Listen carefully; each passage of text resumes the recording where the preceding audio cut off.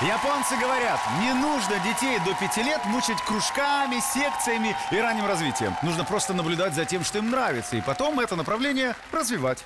Мама нашего следующего героя, хоть и не японка, но интуитивно следовала этому правилу. Что в итоге получилось, вы сейчас увидите сами. Встречайте мастер-виртуоз Владислав Грицун. Чувство, когда ты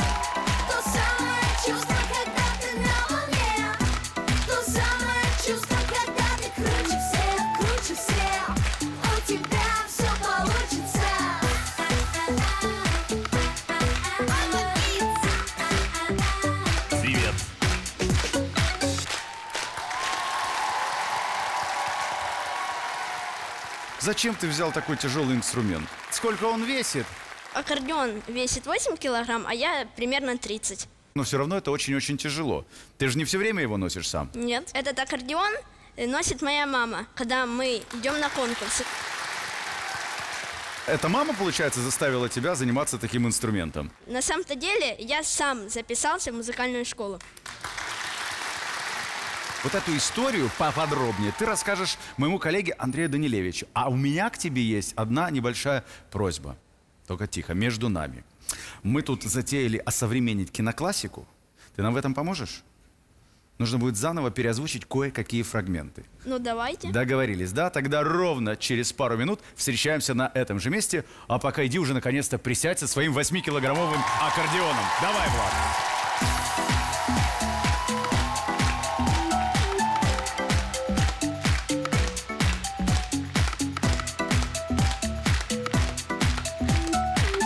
Присаживайся.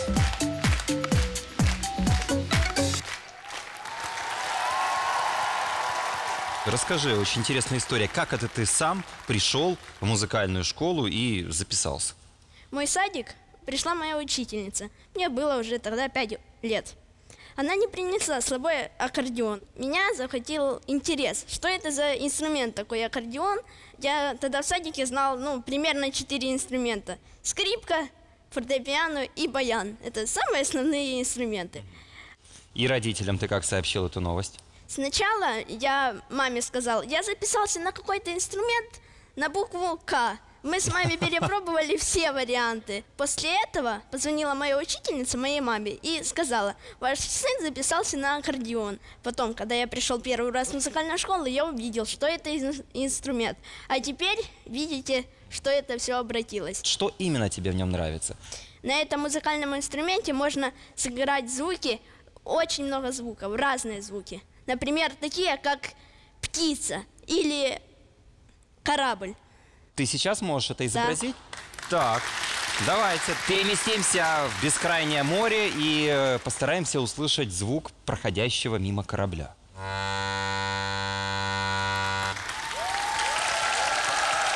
Да, похоже. А птички как чирикают?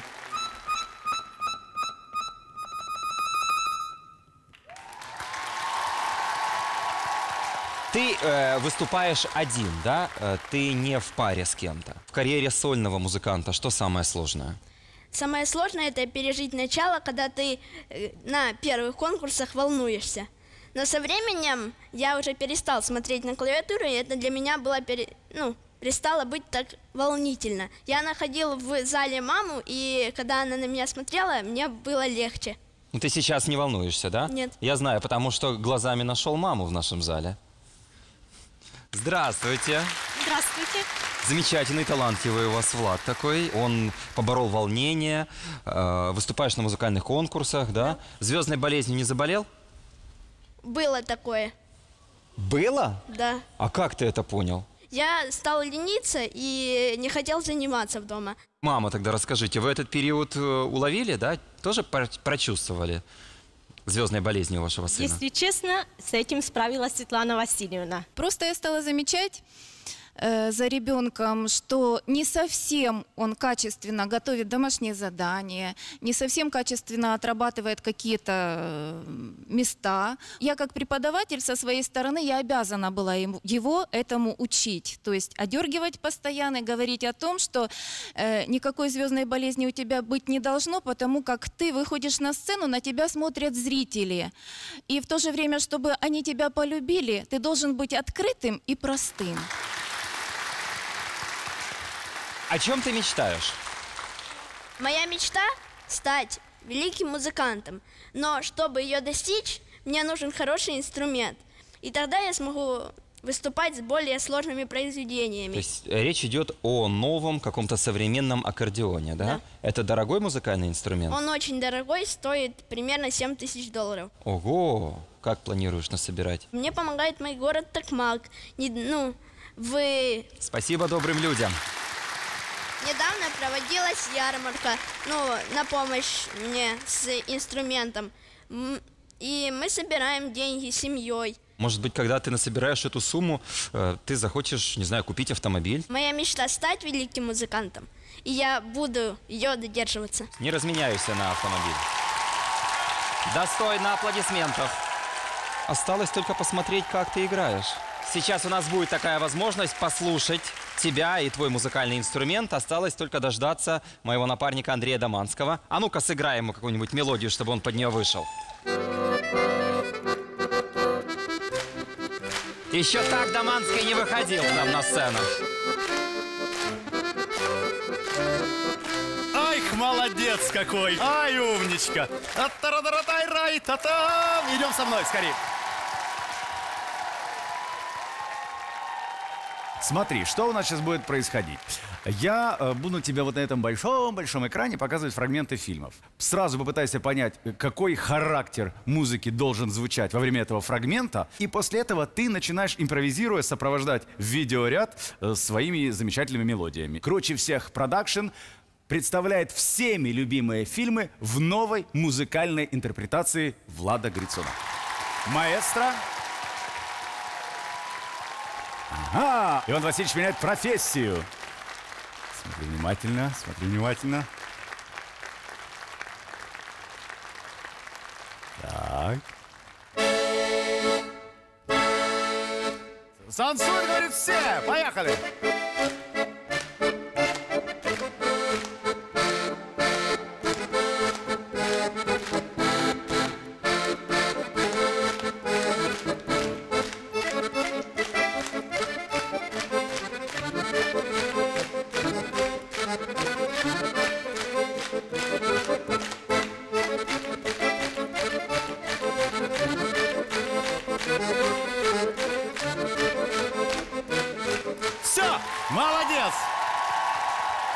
Давай следующий фрагмент смотрим. Ух ты, танцор диска. Так.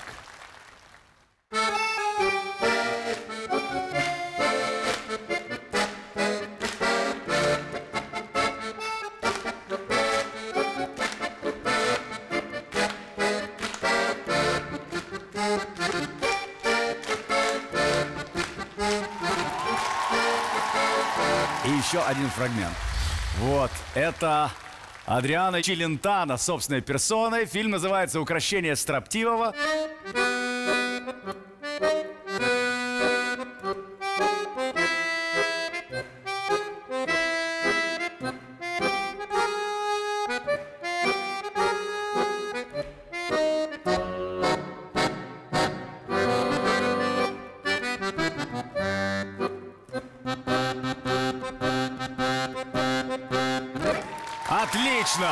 Аплодисменты не смолкают.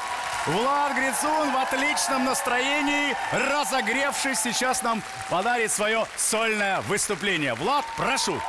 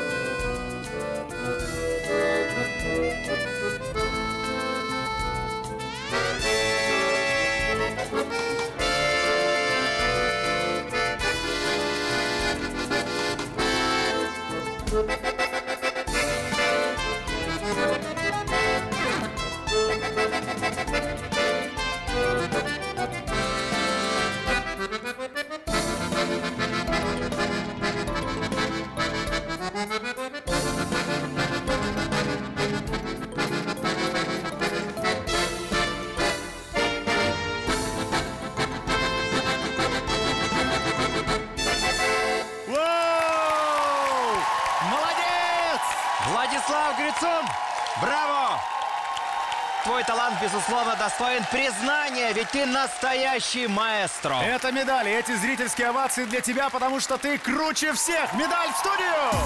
То самое чувство, когда ты круче всех